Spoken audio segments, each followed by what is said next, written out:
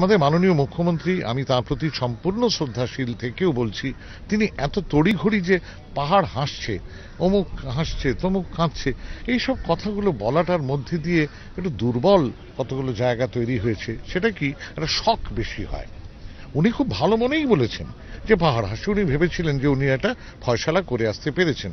এটা সম্ভব না। গোর্খাল্যান্ডের দাবি আজকে বিশেষ করে তেলেঙ্গানা হওয়ার পর রাজ্য হবার পর গোর্খাল্যান্ডের দাবি সঙ্গত কি না, তার আগে একটা কথা আমি সবিনয় বলতে চাই, এবং সেটা হলো যারা গোর্খাল্যান্ডের দাবি জানাচ্ছেন, তাদের প্রতি একদম স্বনির্বন্ধ আমার একটা জিজ্ঞাসা, যে ওখানে লেপচাদের কি হবে?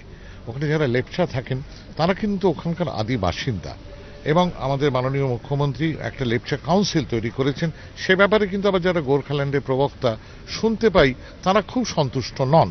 এইটা যেমন আমি কিছুতেই ভারতের একজন নাগরিক হিসেবে আমি কিন্তু এটা মেনে নিতে রাজি নই যে লেপচাদের যে দাবি দেওয়া তারা কিন্তু আলাদা কোনো রাজ্য চাইছেন না তারা চাইছেন একটা স্বীকৃতি ন্যূনতম স্বীকৃতি পর্যন্ত তাদের নেই এটা তো মেনে নেওয়া যায় না इसकी सीधी चाबी है आप सीआरपीएफ को वहां से हटाइए जीजेएम के लोगों को पश्चिम बंगाल की सरकार के प्रतिनिधि बैठ के बात करें समस्या का समाधान बातचीत से निकलता है आतंक अतिवाद से नहीं निकलता।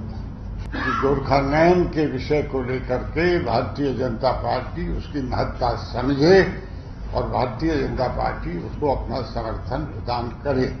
ये प्रयत्न मैंने पहले भी किया, आज भी कर रहा हूँ। आज जो परिस्थिति खड़ी हुई है दार्जिलिंग में, वह बहुत ही चिंताजनक है सरकार और नागरिक के बीच वार्तालाप प्राय समाप्त हो गया बंगाल की सरकार और दार्जिलिंग के नागरिकों के बीच वार्तालाप बहुत ज़रूरी है। गोरखालैंड की जो आवाज़ है, आज सबसे पुरानी और सबसे रेलिवेंट और सबसे ज़्यादा ज़रूरी है क्योंकि जो दार्जिलिंग जिला है देश में केवल एक ही जिला है जो चार अंतर्राष्ट्रीय सीमाओं से जुड़ता है बहुत आवश्यक है कि इसकी महत्ता को समझें মোর্চার অনির্দিষ্টকাল বন্ধে শুনছান পাহাড় বিপর্যস্ত জনজীবন এই বন্ধে তিন দিন আজকে নিয়ে তিন দিন হয়ে গেছে এবং বন্ধের কারণে গোটা পাহাড় কিন্তু নিস্তব্ধ একত্রিশে এ নম্বর জাতীয় সড়ক এটা এই তাতে কিছু গাড়ি চলছে এবং চারদিকে শুনশান কবে উঠবে পাহাড়ের বন্ধ কবে ফের স্বাভাবিক হবে জনজীবন এ প্রশ্নই এখন ঘুরে ফিরে বেড়াচ্ছে পাহাড় জুড়ে মোর্চা সভাপতি বিমল গুরুংয়ের সাফ কথা এখন রাজ্যের সঙ্গে আর কোনো কথা নয়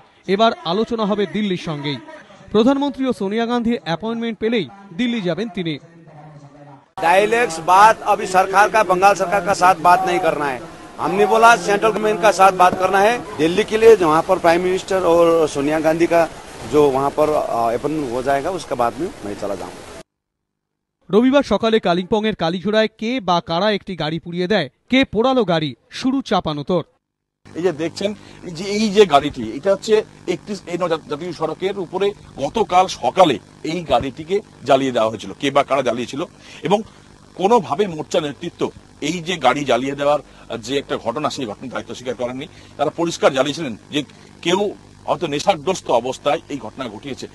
সোমবার কালিম্পংয়ে আত্মঘাতী দলীয় কর্মী মঙ্গল সিং রাজপুতকে শেষ শ্রদ্ধা জানানো হয়। গতকালকেই মঙ্গল সিংয়ের দেহ কালিম্পংয়ে আনা হয়েছে। এবং একটা এই আন্দোলনের সঙ্গে এই মঙ্গল সিংয়ের মৃত্যু একটা অন্য আবেগ তৈরি হয়েছে। কিন্তু এই আবেগ বিপদগামী হলে কি হবে? কি হবে যদি প্রধানমন্ত্রী বা সোনিয়া গান্ধীর কাছ থেকে কোনো আশ্বাস না মেলে? তাহলে পাহাড়ে বন্ধ চলতেই থাকবে। প্রশ্নটা উঠছে পাহাড়ে। সনদ ঝা এবিপি আনন্দ, কালিম্পং।